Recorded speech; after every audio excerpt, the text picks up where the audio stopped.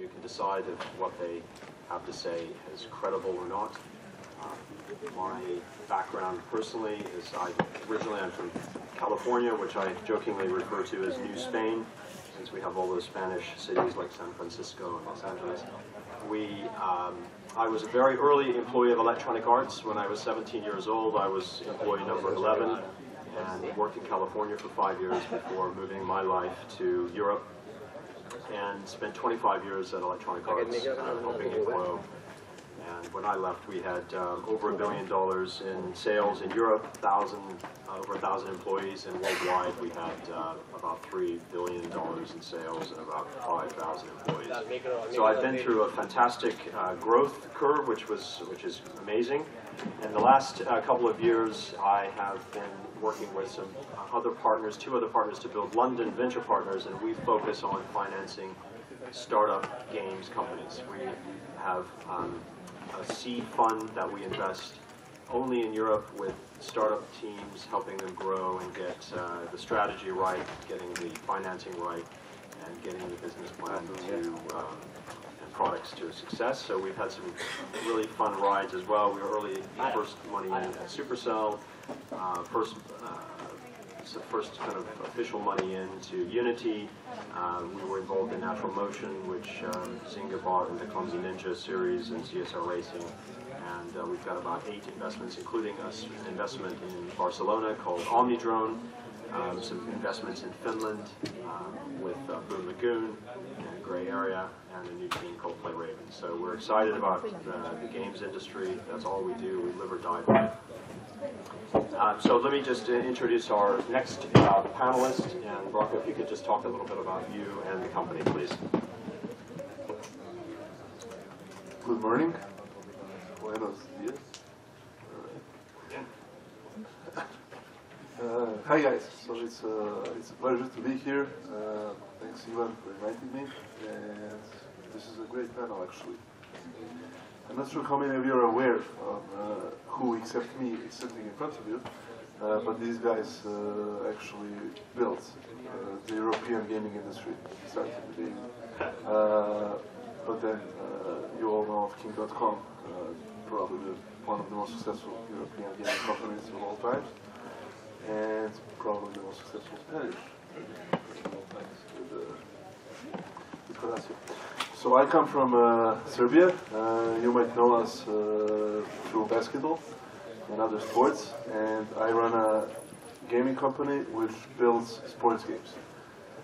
The one you guys like to play, or Spanish people mostly, is Top 11. Uh, it's a football management game. It's probably the most successful uh, sports game uh, on App Store and Google Play. It's got 5 million daily active users. And actually in Spain, I think it's usually in top 10 grossing uh, apps. So uh, most of us are in Belgrade. We're 150 people strong, and we started around the same time as Social Point. So it's uh, it's two veterans uh, who have been in the business for like four or five years uh, in front of you. That's about How big is, um, how, how big is the company in terms of players or employees, whatever you'd like to share? So, uh, I mentioned daily, so registered users, I think we're around 100 million uh, on all platforms. Uh, that's web uh, and mobile. We, just like uh, Social Point did uh, and King, moved to mobile in early days, uh, not the first ones. So now we're kind of mobile first. Uh, and that's where most of the users and revenues actually come from today. Uh, so maybe that's also something you should remember, that mobile gaming is the way to go. Uh, in terms of uh, people, Yeah. uh, yeah, 150 people. How many did you start with? We started with three people, How long ago? uh, five years ago. Great. Perfect. John, tell us about you and King. Gladly. Bom dia a todos. My name is Jan Wedekind. I'm the Senior Business Performance Director for King. Uh, business performance is a discipline uh, uh, that we have in King that's basically a mashup between product management and business intelligence. And such, as I'm, I'm responsible for five studios in Barcelona, London, and Berlin. Uh, I've been, uh, I'm German, you might know, us from football, you won the World Cup. Um, I've been in Spain for eight years. Uh, I started working in the games industry in, in digital chocolates, um, then moved over to, to King. We started uh, almost exactly two years ago here in Barcelona. On the first day, we were about six people in an office that was still in turmoil. Uh, I think we passed well 200 people in Barcelona now. We have now two studios here and, and a lot of people working in shared services. Uh, most of you know Candy Crush, so uh, who here has played Candy Crush? Candy Crush, which, which is this game? Sorry. I've never listened You see, we still have room to grow. You, you, yeah, you, Uh, there must be somebody. Uh, there must be somebody who hasn't played. I think my grandmother. So um, yeah, um, as you know, Candy Crush was a was and is a huge success for us. Uh, but not only Candy Crush, uh, we had three games in the top ten in all major uh, platforms on mobile and on Facebook in Q1, and having a lot of fun with those games. Did you say how many employees did you have worldwide? Uh, in, At, in, at King? In King, in King and Q1, uh, we passed 850 employees, uh, and we're still growing fast. So we're still hiring a lot of people also in Barcelona. Uh, good news for anyone who is here hunting for jobs. So please let me know up. Great. So hello, I think most of you, you have already seen me in this event, a- a- an event that I like a lot because it's one of the most important national events that we have in this country. So it's a pleasure to me to, to be here on this panel with all these amazing people. I, I, I see them usually three, four times a year in different events. In fact, I, I was with Ranko in London two, two, two or three days ago, I think. And Social Point it's, it's a mobile focused company right now. We have 200 people working in Barcelona. We our most successful game that you already know it's Dragon City. Now we have two games live on iPhone and Android that are Dragon City Monster Legends. In fact, Monster Legends was launched last week in Android, and to be honest, we are really really happy because the game is growing a lot more than what we expected. It's now it's top one free download application on, on US, and, we are really happy to see this this succeed. And like Branko said, we, we were a company where we started on, on Facebook, and two and a half or three years ago, we realized that the next big thing was mobile, no? And we successfully moved from, from Facebook to mobile, like the, the other two companies. And I think this has been key, at least for us, to continue growing in, in, in terms of, of revenues and, and users. So now we are totally focused on, on mobile. We do only mobile uh, mobile games. Mobile means all platforms, uh, Android, iOS, and, and also Amazon. Dragon City has been launched in Amazon recently. And of course tablets. So this game, this year we are going to launch four new games, if we can, if we arrive, depending on some developers that I, I am seeing here, depending how fast they code, maybe we achieve to launch these four new games. And these four new games, they will be called mass games. For us, mass means mobile and action social strategy games. It's a kind of category that we are trying to reinvent.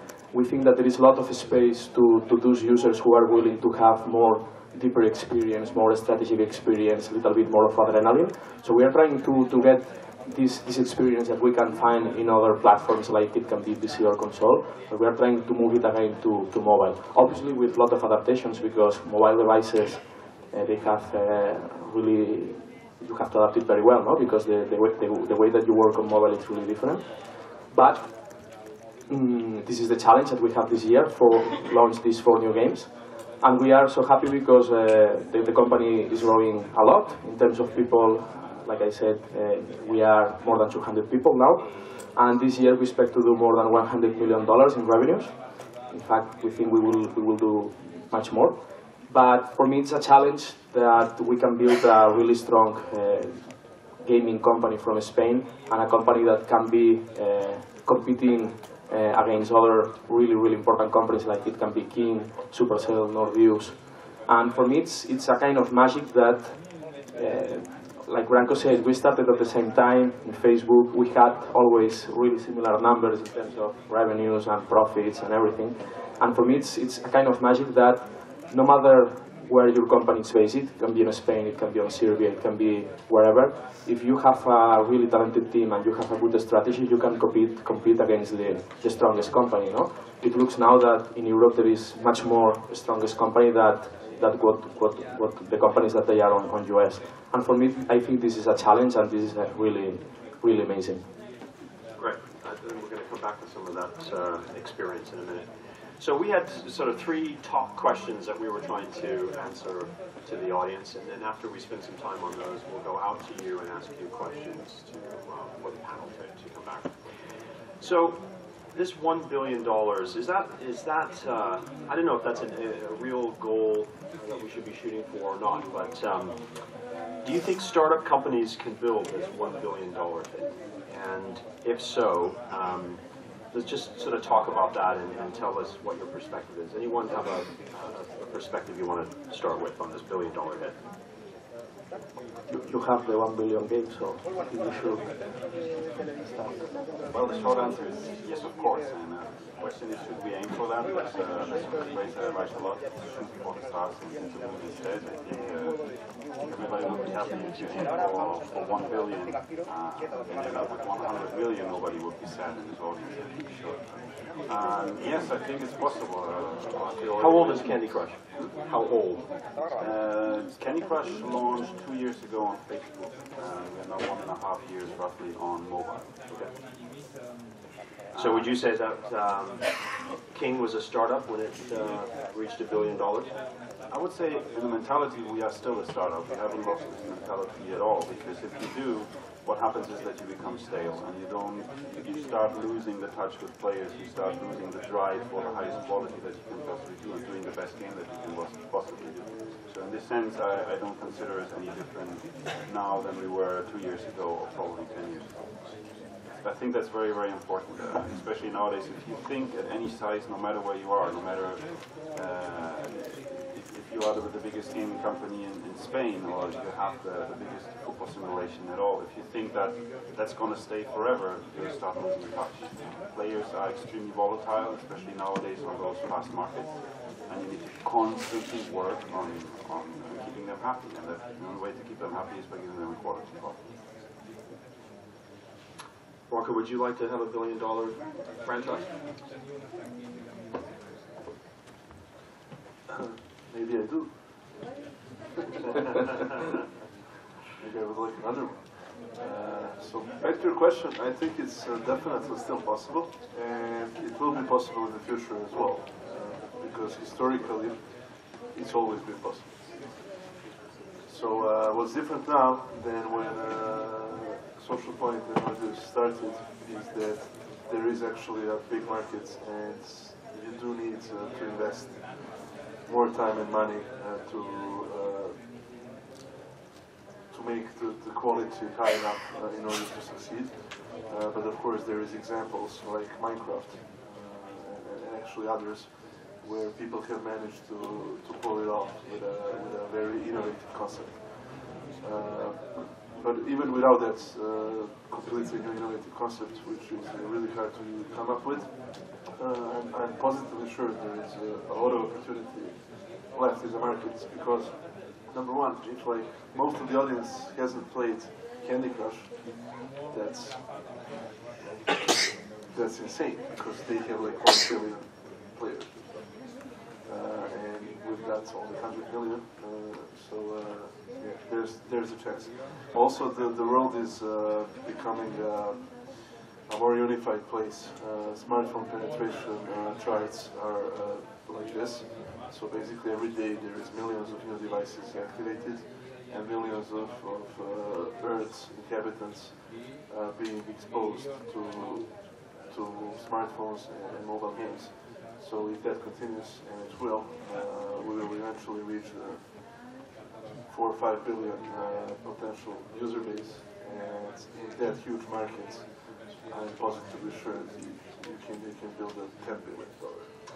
You know, when we when we were preparing uh, this panel, we tried to think about what the um, most recent billion-dollar franchises are. And recent, I, I thought three years. So I mean, everybody knows Call of Duty, everyone knows FIFA, um, Battlefield.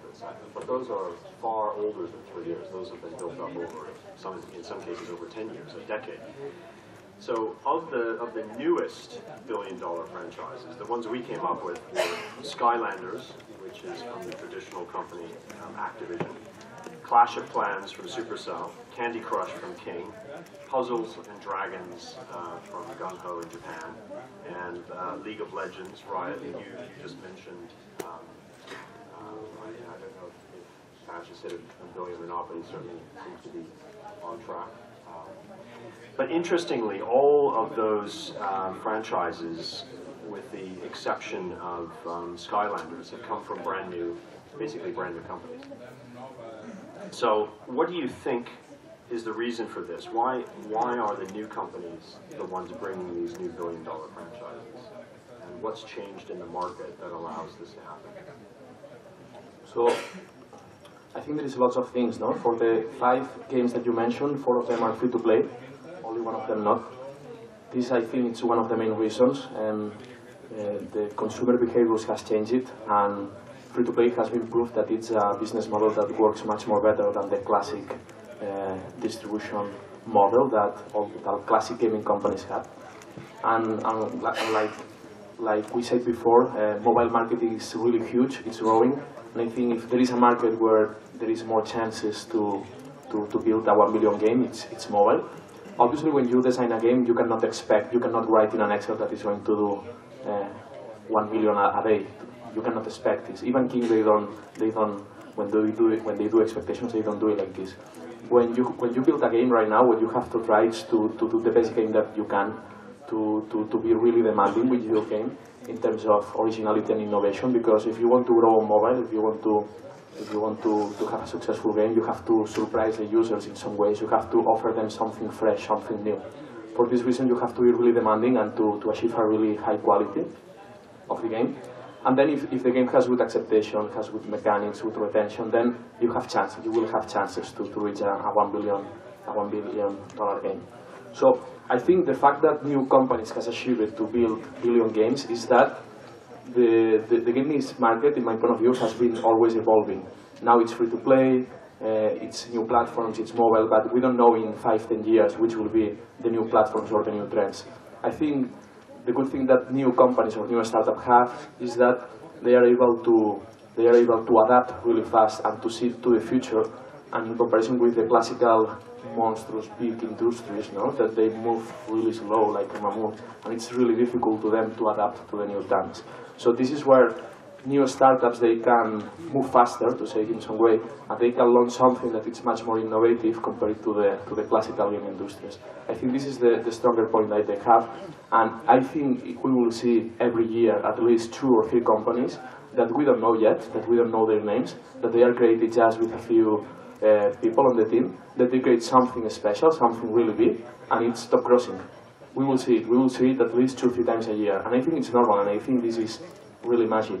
Also, I think at the same time we will see like companies that we are doing well on mobile, like the three of us.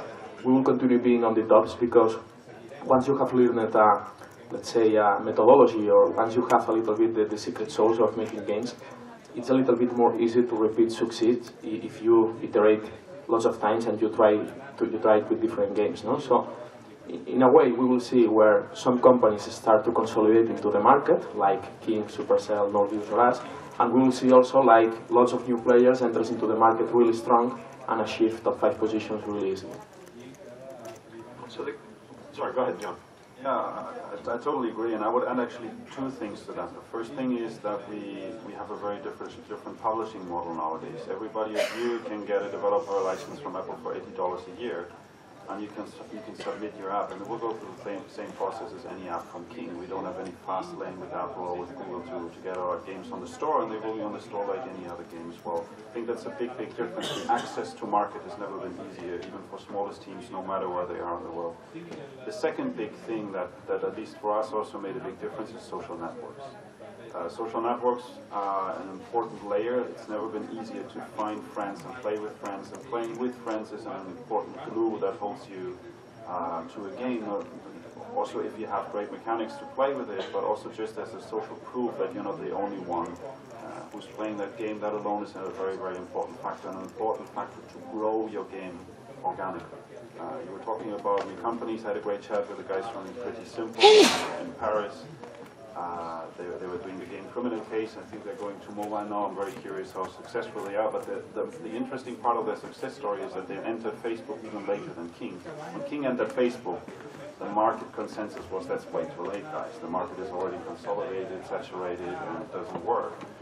Uh, and it worked pretty well for us. Pretty Simple started even later, and they grew their game completely organically, just by having a great mechanic that played well uh, with friends, that made a lot of sense to have friends solving cases. And they grew their game to, I think, 10 million daily active users on Facebook, which is very, very impressive. Out of nowhere, so I agree with Olaf. We will see that uh, once or twice every year.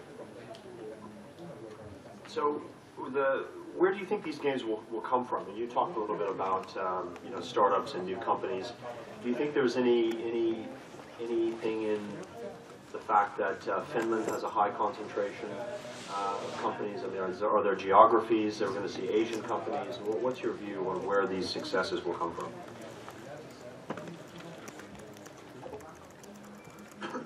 So uh, Finland is a great example because like per capita they're probably the most successful uh, country in the world when it comes to, to game development and then especially we talk about mobile. Of course there is history of Finland and mobile. Uh, we know that Nokia was basically the mobile company until uh, not that long ago. And it's actually surprising that Europe allowed the United States uh, to develop the next generation of mobile. Uh, that means Apple and, Google Android. Because before that, uh, mobile was Europe. Uh, and any space in particular in Europe, it was Finland. So they have a lot of tradition and know-how, I guess, uh, and an entire ecosystem around mobile. Uh, so that definitely helped Finland uh, do amazing stuff, uh, like Angry Birds with and then Supercell. but um, in general, I think that uh, Europe has a great chance, and the, reason why it's, uh, it's actually leading the world today is diversity. So uh, in Europe, there is, I don't know, 50 countries or something like that in a, in a very uh, small space. Uh, there is uh, probably more than 50 languages. Uh, and people are used to uh, trying to target different cultures with their products. I'll give you our example. So coming from Serbia, which is like seven, eight million people, you can't really make a game that's going to target your markets and do it in Serbia. Instead, we have built it in 42 languages, which cover 99.9% of the human population of the world.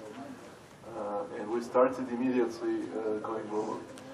Uh, that's a, a big of Europe uh, compared to, for example, the United States, where American companies are going to target US and then they're going to add Spanish uh, due to the large uh, number of people that are native in Spanish in the US. That's the only reason. It's not because they want to target Spain. They couldn't even like show Spain on the map mostly. Uh, so it's, uh, I think it's, it's a big advantage. Speaking of Asia, recently I've learned a lot about their markets because we did uh, big research and actually sent some executives there and so on. And it is very, very different. Uh, and having talked to, to some of the Asia companies' executives, it's going to be very hard for them uh, to uh, do business successfully in the Western world. Uh, maybe even harder than it is for us to do business in uh, Asia, and for me, it's impossible. I don't know how it's it. Uh, and King is actually probably the only king from the Western world that is that is doing something good in Asia. So I think it's going to take us some more time uh, before Asian companies actually uh, do it well in Western markets uh, and Western companies do it well in, uh, in the Asian markets. The only there's a nice uh, experiments which will be Supercell and, and, and, and SoftBank and Google because uh, Supercell is now 50% uh, owned by, an, uh, by a Japanese uh, conglomerate and uh, they have started aggressively entering the Asian markets. There is a lot of know-how and expertise they will be, I guess, given by, their Asian partners, and it's probably the first time uh, there is a strong synergy between Europe and Asia uh, and around games, especially around mobile. So let's see how that goes. Clash Clans just hit number two on the Japanese. There we go. But they're half Japanese, so it definitely helps. So what, what do you guys think the, um, what, what people in this room, what companies need to do uh, in order for, for them to be that company that we just talked about? So you already said, okay, there's a, being in Europe sounds like a good start, so we got that, we got that bit right, and here we are. Um, well, can you tell us anything about what you think teams should look like? Uh, what the kind of key skills, the must-have capabilities are to be successful? What, what do you guys think about uh, about that? In terms of team, I think that this is a business about, this is not a business about headcount. It's not that if you have thousands of, thousands of people, you have more chances to do a, a good game. We can see this example very well with Zynga, no? You had a lot of people and they did in a row 10 crappy, day, 10, 10 crappy games. This is more a, business about uh, talent. We say that it's, there is a kind of talentocracy no, into this business. 10 people or 5 people, if they have the right talent and the right skills, they can do a much more better game than an entire super studio like, like us like wherever. I think it's a question of mm, what normally works into these games, it's have small teams, not longer than 12, 15 people, at least I'm told for, for Social Point, but I think that for companies we have similar structures. And teams that are small, that they are between 12, 15 people maximum, they usually work very well because communication it works uh, really easily. Uh, the team is totally aligned and motivated, and it's much more better to have the right senior people. uh, And, and, and one of the skills that I value much more is it's the game design. I think uh, technically, of course, the games they have to be good. Artistically, they have to be also really beautiful to enter by the eyes of the consumers. But the most important is that the mechanics of the games and the game design, uh, it, it, it becomes addicted for, for, the, for the user. It's really important that the game at the end offers a, a really high engagement and that the user is willing to play eight times a day if it's possible, because this is what is going to do to is going to, to help to monetize your game. No, the fact that the, the user is willing to, to play every time it's possible. So I think game design is one of the most important skills, and game design is related with innovation. If you try to do a, another, now another Clash of Clans, so it will be really difficult, no? Because 30 companies has tried to do another Clash of Clans. I think people is waiting for something different, something new, and this is a challenge because it's really difficult to innovate into a market where hundreds of games are launching every day. But I think this is the this is the challenge, and for me, game design skills and trying to offer a new experience to the users. This is one of the skills that the whole team, from all the perspectives, from development, from art, and from game design, they should try to they should try to, to achieve it. Yeah, I agree. I would add also that, uh, especially when it comes to game design, one of the qualities that I value most highly is failure. Because the most you learn is from failure. You asked before why, why Finland is so strong these days. I think it's a very simple fact that they've been doing high quality games for a long time, and that means for every quality game they probably failed 10 times before in doing a great game. And you learn most from that. Um, but that goes to quality that's very, very important, especially for small teams. Uh, it's great to start with a very strong idea, uh, especially game designers very often have very, very strong ideas and notions about how the game should be, but the most important judge of that is not the team, not the game designer, it's the player. So the earliest you can start bringing your game in front of players, doing play tests or, or soft launches or whatever, the sooner you learn actually what is working. And nothing, nothing is more humbling. I'm sure you guys know the same than uh, having to watch a, a user test of a player where you just have to sit silently next to them and you want them to click a big, big, big red button and they just don't see it.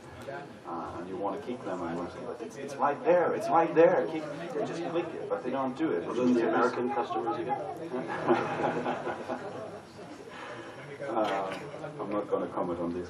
Um, the point is that it needs enough humility, enough humbleness, enough uh, enough acceptance to accept that you failed in this moment. Your game is failing in that. The player never fails, so you need to you need to fix that and make it better.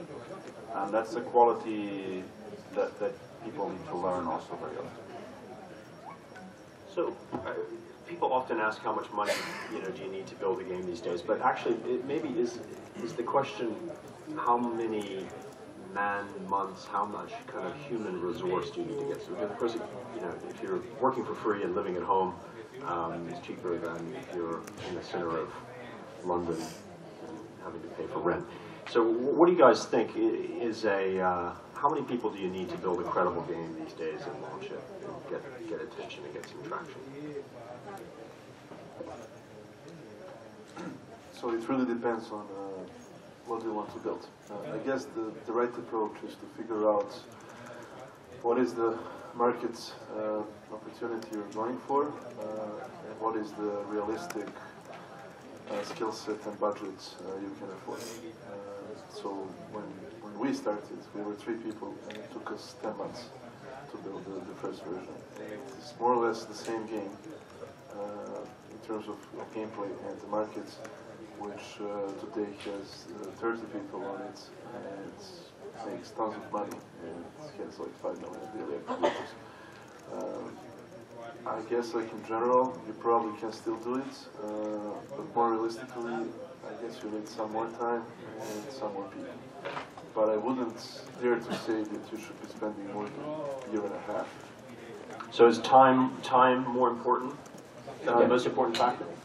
It's very important. There's always time, quality, and money. Right? Yeah. The, the, the, the Magic whole triangle. Yeah, exactly. So, time, money, quality, and then the sliders you move, move the other sliders. Uh, I think the I think time is very important, um, but it's not the crucial one. Uh, quality is probably more important, and budget is probably fixed for, for anybody who's starting. So I would uh, I would I would be careful. But you can't afford yourself to build something for years and years and years, because simply everything is going to change meanwhile. like like Branko said, for me it's more a question of time, no? Because when there is an opportunity, there is a, a, window of opportunity of maybe one year, or two years. If you take more than two years, probably another uh, the, another developers will, will make a similar game that the one that you are trying to do. So I think everyone who tries to, to make their own game and, and to be successful, they should be conscious that right now high quality mobile games more or less in average they took they take a year to do it. Maybe not sometimes it's 10 months 8 18 but in average you can say that it take a year. But the most important is that after launching the game like um, Jan said you have to iterate a lot. You have to soft launch it. You have to listen to the users to track what's happening inside your game and to do hundreds of iterations until you find the better balancing the better tweak you, you change lots of the mechanics for example, now we are going to launch uh, a soft launch games, and I hope that we will be four, five, six months at least iterating with the multiplayer because we, we did the game, we realized that the multiplayer was the most funny part, and maybe the game that we built was not enough focus on multiplayer. No? So now we are going to spend five, six months Uh, trying to find which is the best way and the most funny way to do multiplayer. So it's one year of making the game, six months at least iterating to find the, the best combination of your game. So it's a lot of time. So it's not a question of budget, of, of, of money, it's a question of how much time can you invest in, can you be working only in one game without having, let's say, personal problems, no? to say it in some way. If you can afford this one year, one year and a half, so that's all. And another advice for companies who start is if they can try it with two games, because sometimes you play all your cards in one game, it doesn't work. If it, you have the chance to, to start a second game and to, if the first one doesn't work, launch the second, you will have more, more chances, especially because in the second game you, have, you will learn lots of errors or mistakes from the first game that you will be able to, to solve it. Great advice. So last question before we go to the audience. So if the microphone, uh, microphones could be ready, please. If you had only one platform to support on your first launch, what platform would that be? Each of you, please answer. Well, I would say for me it would be iOS uh, still at the moment. Uh, yes, there are more Android devices, but uh, the cost comes at a development, especially QA process, which is much more complex and, and, and difficult and costly. And at the same time, the, the return that you're getting per user still is much stronger in iOS than it is Android. For me, the choice would be very clearly iOS. Okay. Horacio? This question, today I have lunch with Apple and you will put me into a... I think nowadays choosing just one platform, I don't, I don't know if it's possible. To be honest, I think if you have a good game, you have to have it everywhere. And if in one year we have to have it on big glasses or wearable device, we will have to do it, I don't know. I think, uh, of course, iPhone, uh, iOS is still the platform who, who brings more money, but like everybody knows, Android is growing much more faster, it's growing like the hell, and it's really interesting also the number of DAUs. And the number of synergies that you can have between Android and iOS is also really interesting because, at least for games, if I don't know, if one class of one school, some childs are playing Dragon City, and just they have uh, they have iPhone and the other half have Android. I need that all of them they are playing Dragon City. I don't care where, where the platform is, no. So I think we have to bet in, in all the platforms, and I think we are really lucky that we have two big platforms like iOS and Android, and they are competing between themselves because this makes the market much more interesting. Uh, it's like asking me which kid I prefer, so it's, uh, it's hard. But uh, I agree with everything uh, they've said. One point only on a scenario where you're starting a new company and you guys are mostly engineers and art, so you can afford to work harder and more uh, and build an Android app because it's a bit more uh, difficult than iOS. Uh, the benefit you will get from Android uh, is uh, much lower cost of user acquisition because Android is Google uh, and discoverability and everything else kind of comes with that. Uh, and with iOS, um, sometimes, more often than not, uh, it's very tricky to do user acquisition without having a substantial budget and a skillful team, which three of us do have, and I imagine a startup does not. Uh, so that's one for Google, but I mean, overall, like, everything over there is amazing, and you should go for, for all platforms. Great, thank you. Thank you for the advice and input. So, over to the audience uh, to ask any questions to the panel. Please raise your hand and a microphone will magically appear. So, yeah. You're first because I can see you.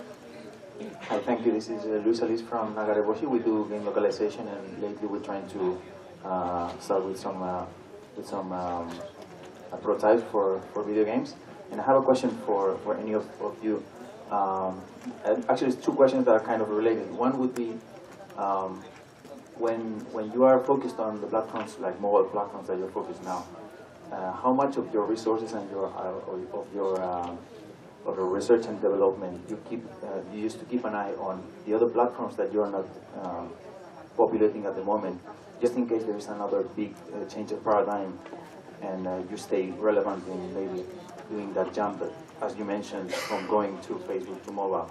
Uh, for instance, like uh, any of the traditional uh, hardware makers come up with some new uh, console that becomes revolutionary again, like the Wii.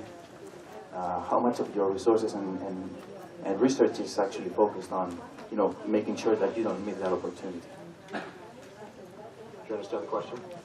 If I were to re rephrase it, it's how much do you keep on uh, today versus how much you have for tomorrow? It's 10%. really difficult to quantify it for me. I, I'm not sure how much people I have thinking enough more than two years future, to, to, to be honest. I think if the, the, if the cost of uh, time developing a game is 12 months and a new device will show up to the market, I think all of us will be ready to, to make this game in 12 months. So I don't think it will be a big deal for us to, to move or to port our games to a new platform. But and, and take in consideration that if a new hardware is it's presented uh, first it has to be sold to billion to, to millions of people, and this is not immediately, you know. So our, our, games are free to play, and we need big audience if we want to, to monetize them well. No? So we need good uh, devices, good platforms, but also good reach of these platforms, and this it takes time. So be, I think in Social Point we are looking for the next coming two three years to mobile only. I think mobile will be the the mass uh, platform, no? will be the, the, the platform that will have 95% of the users. And in the next coming two years, we are work only in, in mobile games. In the future, we will see, but I think we will be ready to move if it's necessary. Great, thank you. Next question, over here. Is there a microphone? Yeah? Hello. Okay. Uh, in terms of uh, strategy for a startup, what do you think about Steam? The, the whole package, I mean, the, the portal and now the new device that they're creating and the green light. Simple question back, who, who are your players? What kind of games are they playing? And that depends on where you should, where you should publish your game. It's as simple as that. There's no, there's no simple or jack of all trades answer to that. You need to know where the players are that will want to play your game. And if Steam is the right platform, because most of them are PC type of players, then this will be a fantastic platform for sure, I have no doubt. For a game like Candy Crush, most likely no. I don't think that there's a critical mass of players who really desperately would want to play via Steam as opposed to just going to Facebook or King.com and playing it there in the web browser right next to it. So uh, it's the market that decides for you where you should be. Any different opinion on the panel? Everyone happy with that? Okay, next question, please.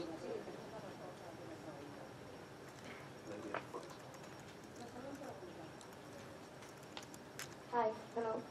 Uh, you are now so big and famous, but I'm asking myself, when you first started, how did you manage to get noticed in this jungle? Because now it, I think you are talking about hundreds of new games a day, but maybe you are like hundreds about an hour in all the world. So how can you get noticed the first time? Not when you are famous, but when you are starting. Great question. I, don't think that we are so famous, so we, we can we walk on the street and nobody says us nothing. What is wonderful, you know, which is good. I'm joking, what is good, really good. I think, in my opinion, when we started, having a big visibility was not one of our first priorities. Our priority was having a good game with some users, keep these users, put more users if it's possible, and, and steadily no, and, and slowly grow the user base to start having at least uh, a few thousands of players playing our games. Having visibility in terms of uh, company, I think, was not one priority. Visibility comes later when, when, when you start uh, having some figures or, or whatever. No? And to have visibility into the game, if this is a question, like Branko said, in, in, in iOS it's a little bit more difficult and sometimes you have to spend a little bit of money. So part of the budget that you have to do the game, you, you should have it to, to invest it into some uh, ads, ad marketing campaigns. You can find a, a partner or a kind of publisher to help you. And for example, I think what is important for even iOS and, and, and also Android, it's, it's try to have, try to pitch the game to, to them before the game is launched trying to convince them that your game is really good and try to achieve some kind of featuring or visibility that you can do it. I have seen a small uh, developers company from Barcelona with just three guys being worldwide featured. And I'm not talking about us, I'm talking about some companies they have achieved, and I think this is this is the right way, no? If you have a good game and you know how to pitch it to Apple, they will listen to you and they will find a way to, to, to bring you some users and some, some visibility.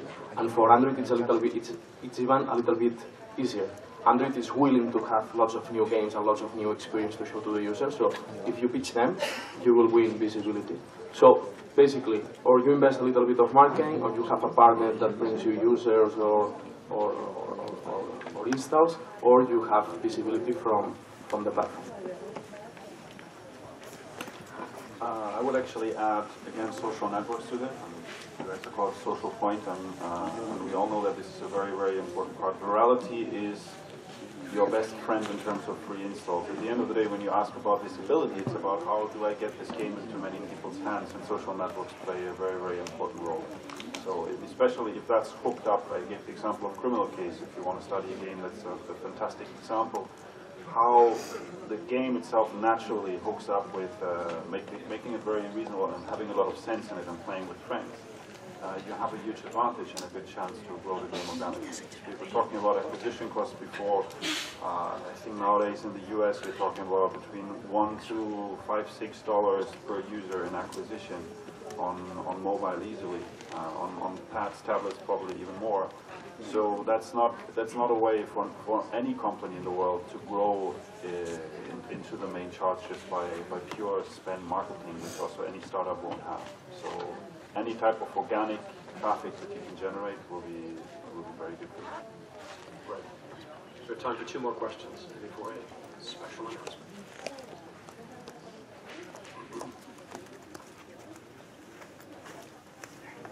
Uh, Hi, Marvel here from ClickUp. Um, I was wondering, um, so you said that, you know, it takes one year, one year and a half to have the game rolling. So, of course, uh, nowadays you need to iterate on your game, so you need uh, back office tools to do your analytic, to change in your game. So, how many people do you have building those tools for you? And does it, is it from day one that you have built those tools, and is it still something that you iterate on to make your game better?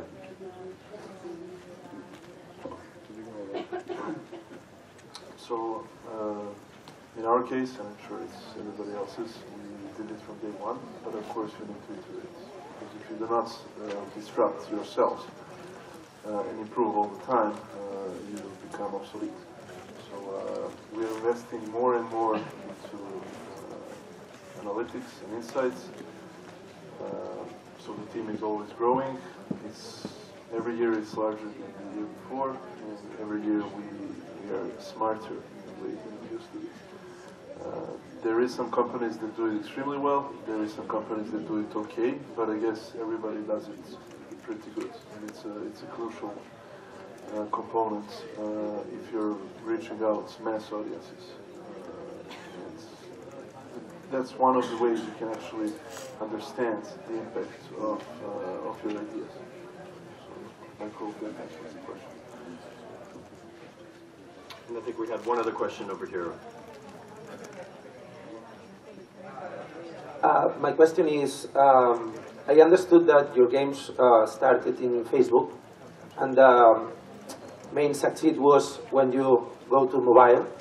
And what was the, um, the best practice you you made in this in this translation? Because you had huge um, uh, database in Facebook, but they have to adopt mobile. What what do you think is the key the key factors to to translate these people to from Facebook to mobile?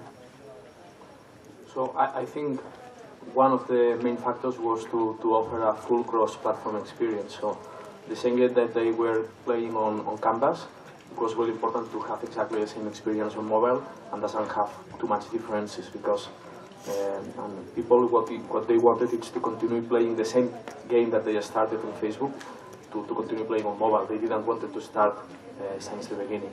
And the fact that I think the three games no, offered, offered thi- this, the, the fact that you can continue the same game, was, was one of the key points.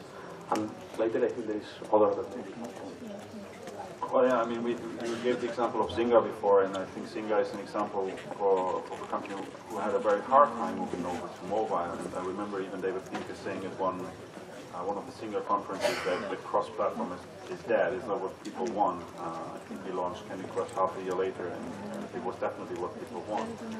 Another experience that we had, and that's very important to remember, I'm sure you guys uh, have the same, is that you, you need to think about mobile as a platform in its own right. You need to do the native development on that platform and make sure that the user experience on that platform is the right one. You can't just take the game. Uh, I mean, there's a lot of tools out there when we talk about Unity or something like this or Adobe Air that will allow you to do cross-platform development, which is very nice. But in terms of user experience and adapting the game to the platform, you need to think from that platform. And actually thinking mobile first is always uh, a very good starting point because it will always be the smallest screen. And when the game has to work very, very well on the smallest screen, not on a 5.6 inch tablet or something. It has to work on an iPhone 4. Now here's the challenge for game designers. How do you make that work? UX designers, how do you make that work? And then scaling it up is much easier. But you have to do that natively. Otherwise, uh, or at least in terms of native UX design, otherwise you will fail. Thank you very much. So I, I made mention we have a, a special announcement, uh, a world exclusive for Gamelab here to um, have a product introduced by eRepublik. How many people know the company based in Spain called eRepublik and, and Alexis Bonte? Pretty good. Alexis, you're going to become very famous now. Please come up and uh, tell us what your uh, tell us what your secret that you're going to reveal is. We're anxious to hear. I was dreaming. I was dreaming of making games. I think, like a lot of people in this in this, in this room, that, that was my dream. That's really what I wanted to do. Uh, 16 years old, you know, my friends would just make fun of me because I was just writing these, what I thought were design docs of what the, the next great game will be and all that sort of stuff. And uh, it took it took me a lot of time to do the next games. I think we started Republic Labs uh, something like 15 years after that. And uh, our first game was uh, basically called eRepublik.com and um, we basically made it, we based it on a, because they were talking about innovation, we based it on a game that we loved, that I loved, that played a lot, it was called Civilization. But we ended up doing something something completely different because we had no idea what we were doing, really. Uh, we got really lucky, and now about 5 million people in the world have played eRepublik.com. And that's allowed us to basically um, build and fund a studio in Madrid, um, where we, we made a small acquisition and we basically decided to do a mobile game. And that mobile game is uh, called Tactical Heroes. Uh, we're, um, we've done the technical launch a few months ago, kind of you know following the, the stuff that these guys were saying in New Zealand. And now today officially we're soft launching in Spain. Uh, and we're actually making a pretty big soft launch because we want to get the volume uh, to really see how the game will do. It's, this has been a long development time because we really think that the time has come for the iPad to have different kinds of games. Uh, we really think that PC games um, have that depth, and it's very, very hard to find that depth. Because we're finding it difficult to find the depth that we can find in PC games on iPad, but also you need to adapt it to the type of user sessions that people have on the iPad. So this is really us trying to bring what we love, PC games, because we're PC gamers, to the iPad. So you'll see another game that we love is XCOM. So our inspiration for Tactical Heroes was XCOM. Uh, and we ended up doing something very, very different. But that's the main inspiration. So I'll try and see if I can get. It's only 40 seconds, so then you're rid of it.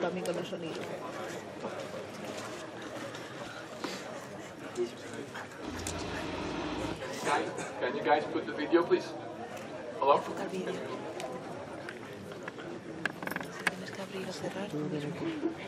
¿Cómo sé? ¿Esto no me lo explicaste? ¿No te lo expliqué?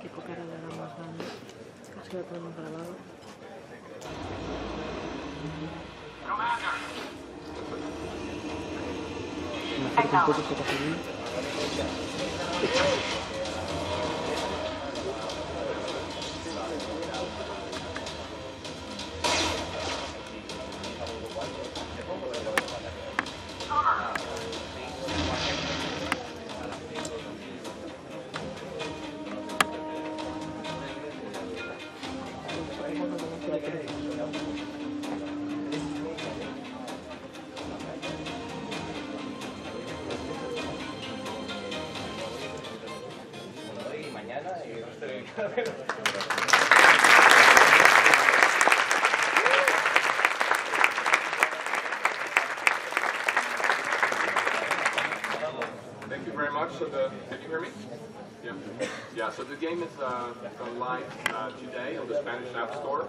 So we know we're a development studio. Uh, that was a great introduction. We hope that one day we'll be as big as these guys. Uh, so, you know, any of you that have an iPad that can download the game would be super thankful because every download is a lot of people here know it makes a difference. Any of you that can, then if you enjoy the game that can review it, that will make a big difference for us. We'll be very thankful.